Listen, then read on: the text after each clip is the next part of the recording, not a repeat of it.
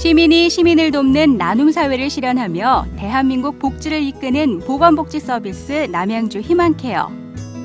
이웃을 위해 자신의 재능과 정성을 나누는 아름다운 남양주 사람을 칭찬하는 칭찬 릴레이 추천합니다. 오늘 그 두 번째 주인공을 만나볼 시간인데요. 함께 찾아가 볼까요?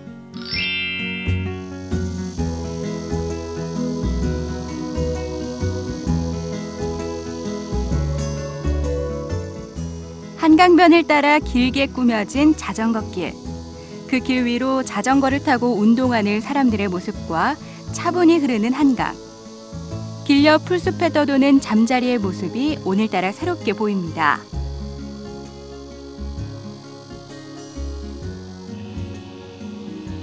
여유로운 풍경가에 오늘의 칭찬 주인공이 있다고 하는데요. 세상에서 가장 아름다운 초대라는 간판이 왠지 마음을 편안하게 합니다. 이곳에 계신 오늘의 칭찬 주인공은 어떤 분일지 기대되는데요. 어디 계신가요?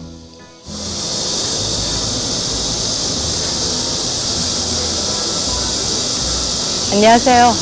저는 남양주시 수석동에서 초대 한정식을 운영하고 있는 유영래입니다. 네, 바로 남양주 수석동에 위치한 초대라는 한정식 집을 운영하고 있는 유영래 사장님이 오늘의 칭찬 주인공입니다. 직원들과 편안하고 자연스럽게 대화하며 소통하시는 사장님의 모습에서 사람을 사랑하고 아낀다는 느낌을 받게 했는데요. 그렇다면 유영래 사장님은 어떻게 희망 케어를 후원하게 되셨는지 들어볼까요? 어, 글쎄 제가 장사 처음 시작할 때부터 제가 이 동네에 좀 이렇게 후원을 하길 원했었어요. 그래서 처음에는 동사무소에다가 그냥 그냥 했었거든요. 그래서 한 일곱 명 정도 선정해서 하다가 희망케어가 생기면서 이제 말씀을 하셔서 이쪽 방향으로 바꿨어요. 그래서 그래서 이제 계기가 그래서 하기 시작했죠. 네.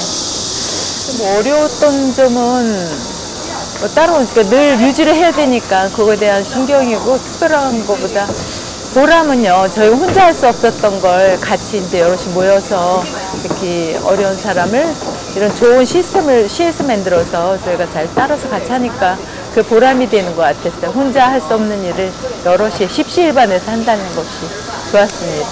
네. 아, 똑같죠.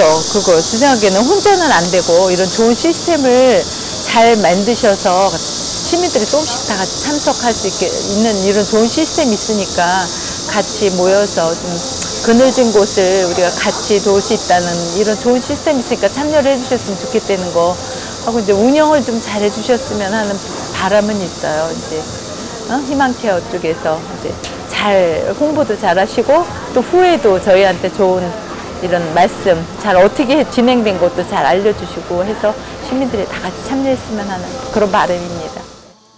어느 날 갑자기가 아닌 평소 지니고 있던 신념으로 나눔과 섬김을 실천하고 있는 유영래 사장님. 그녀가 세 번째 칭찬 릴레이로 추천하신 분은 누굴까요? 제가 칭찬해드릴 칭찬 주인공은 저소득층에게 의료비를 지원해드리는 남양주 양병원에 근무하시는 정두승 주임입니다.